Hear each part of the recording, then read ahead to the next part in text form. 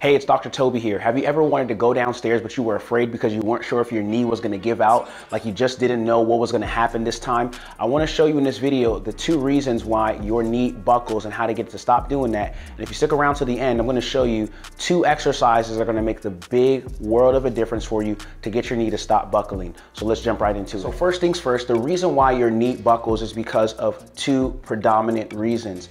Number one, you have to decrease your load and double your leverage. What does that mean? Well, one of the biggest issues or the three categories of reasons that affect the knee in terms of its buckling is gonna boil down to these things that I'm gonna share. Number one is weakness, number two is weight, and the other one, the third is wrong posture or wrong positioning, wrong movement. So let's talk about the first one. When your body is weak, you're not gonna be able to have stability to sustain the joint position. So you're going downstairs, you're on one leg for a certain period of time. And what begins to happen is that knee collapses under all of the weight, plus the inability for the muscles to keep the strength there. So there's weakness there. But part of what happens is as we gain weight, when people get to being overweight and things like that, what happens is the amount of load that's on their body is not sufficiently supported by the amount of strength that's in their legs. And so your legs may not even be that weak, but they're just weak compared to the amount of weight that you're carrying. And so what happens is the weakness becomes a problem because the muscles can no longer support the joint. And so when you get a certain amount of pressure put, maybe like you're stepping down off of a curb or stepping up a step, what happens is that knee begins to collapse under the pressure because now you're not just standing on two feet. What's happening is you're actually on one foot for a certain period of time and the knee does not have enough strength or the ability to sustain the amount of strength for that period of time when you're going up the stairs or going down the stairs and the knee just gives out because it's tired. It's like, man, I've been working for so much and I really don't have enough to keep going and the knee just stops, it gives out. So weakness is really going to be a factor, but then there's the weight component where it's like, hey, if there's a lot of weight and there's not enough strength compared to the amount of weight, then what happens is the knee crumbles under that. And then the last thing is wrong posture. One of the things that leads to weakness is a lot of times people, they develop wrong posture, which causes their muscles to be weak. So you'll see them getting up out of chairs where they're you know, standing up and their knees are kind of caving in, right? What they're doing is they're encouraging weakness in their muscles because certain muscles that are supposed to support them, they're deactivating those muscles by putting their hands in that position and getting up from their chair, stuff like that. And so for a lot of times, most people who are sitting throughout the day, they're not living an active life. Active life, what happens is their body just begins to develop weakness because if you don't use it, you lose it. Your body's like, well, you know, we don't need to really, you know, use that much energy or maintain that much strength. So, but the other thing is this. What happens is if you just decrease your load, meaning managing that weight better, decreasing how much weight your body is carrying, you're gonna see a drastic change in your ability to not have your knee buckle, and then from there, if you double your leverage, so your leverage comes from your muscles, your body's ability to move itself right, when you are carrying a load. So what you wanna do is get stronger, and I'm gonna show you the two best exercises right now that are gonna help you to cause that knee to get stronger and stop buckling. All right, so I wanna show you the exercises that are gonna be critical for you. Two exercises and they're super simple. You gotta do stability and stamina exercises. Stability means your body's ability to hold a position, your muscles being able to hold a position for a certain length of time or being able to hold a position. Stamina means your body's ability to hold that position for a certain period of time. So there's stability and there's stamina. And really, the exercises can be the same, it just depends on how you do them. So it's not about the volume of exercises, it's about the precision. It's about how specific those exercises are to helping you to be able to go up and down the stairs without having that knee collapse, right? How similar do the exercises that you're doing to train your knee, how similarly do they replicate the same kind of forces that you experience when you're going up and down stairs or whenever you typically experience that knee buckling. So, so you can do these right from home. Bridge exercise right on your back. You're here, you're in a bridge position, cross those arms. Maybe if you really struggle to do this, you can start with your arms in the easy version where your arms are on the ground like so, but you're gonna lift that bottom up, squeezing those glutes. You really wanna tighten up those glutes and feel that squeeze, right? So you're gonna have to adjust your legs in terms of where that position is but this is a safe exercise. Why? Because you don't have a risk of hurting yourself while you're at home or doing things like that. And so stability is going to be great because we're activating quads and hamstrings in this exercise, which you're going to need for stability when you're going up and down stairs. So you want to encourage that activation, especially if those muscles are weak. So doing that exercise up and down, squeezing those glutes every single time, really getting that activated. But the key here is, especially for stability and stamina, you want to start off doing holds. Don't just plow up and down, three second hold or five second hold, right? Start off easy, do three seconds if you're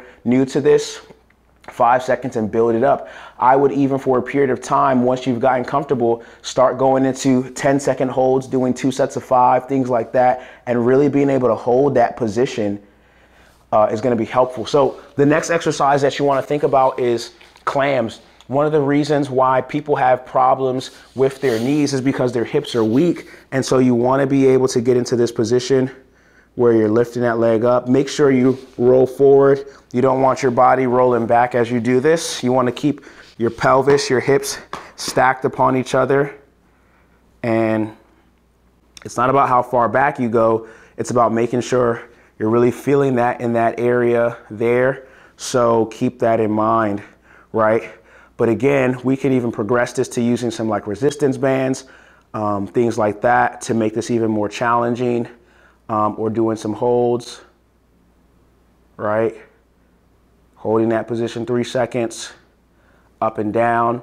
It's very essential, right? Don't just plow through the exercise. Think about three second hold, five second hold, two sets of 10 or different things like that and going from there. Now, as you start to build strength and see some improvement, realize that just because you see some improvement doesn't mean that you've completely solved the issue after you've gotten to a routine like this. And what you want to think about is progressing to more real life type of exercises where um, you're going to translate to standing or doing kinds of activities where if you were doing it during the day, your knee might buckle. So simple uh, exercise is like a squat hold, right? Now, most people are not going to be able to do this kind of exercise starting off. They're going to need to uh, get like a chair or something like that so that they can do this safely. And I'll show you that in a second. All right, so with an exercise like this where we're doing a squat hold, what we wanna do is we wanna get into the squatted position, right? But first thing we wanna do is shift our weight to our heels. want your weight in your heels. Stick your bottom back. So you wanna stick that bottom back, let the bottom go back, and then drop it down. Holding onto this for support, having this nice right behind you just in case that knee gives out, but you wanna put yourself in a training environment where you're holding that position and you squeeze your bottom as you come up. Squeeze. Three to five second hold is a great place to start. Squeeze. Squeeze. Now, why are we doing these holds? We don't just want to plow through the exercise. If you're really in a tough position where you really have difficulty uh, performing this or holding, then start off just doing plowing through, just going, right, and doing what you can and stopping when you feel like your knee's gonna give out. The thing that is that you have to realize is you improve your limits or you can push yourself to your limit and leverage that limit by pushing yourself to it. So what it means is that, hey, I actually wanna do the exercise to the point where I'm just doing my little squats, right? I'm building my stability and endurance, and then I start to feel like, okay, I feel like I'm getting weaker, I feel like my knee is gonna give out. That's when I take a break, right? And then I get back and I do it again, expose myself to that same limitation so that what once was a limitation now becomes my leverage. Because before, maybe I could only do, oh, I did three and like my knee feels like it's about to give out, I gotta sit down. But what happens is, as I continue to expose myself to that three that I can do, and then I sit down, what's happening is I'm building stamina and stability, and that's gonna change the game for people who have knee buckling issues. So the two types of exercises are stamina and stability exercises, and it's mostly gonna deal with how you're performing the exercise. So the ideal is that you wanna start doing longer holds of certain positions that challenge you, right? Holding in that position, right? Maybe you just have to start off just being able to get out of the chair without doing this, right? Get out of a chair without pushing those legs together because again, we talked about wrong posture. You don't want to keep encouraging that. That's going to encourage you to utilize muscles or underutilize muscles that need to be stronger, need to get stronger. So maybe you need to increase the height of the chair, right, that you're doing this from. Get a higher chair so that way it's easier and you can practice standing up and down without pushing your knees together. That's going to be a very big game changer. So for some people, that's the place to start with. But if you're unsure of where to start, hit the link in our description where you can talk to a PT first and just have a free conversation and understand some of the things that you have going on in your particular situation so we can see how to best help you and get you to where you want to be. So if you found this video helpful, leave a like and leave a comment. Let us know what you found helpful. And of course, hit the subscribe button. You don't want to miss out on all the helpful videos that we're making just to help you get healthy, pain-free, fit, and mobile and develop confidence so you can live your best and happiest life. See you in the next video.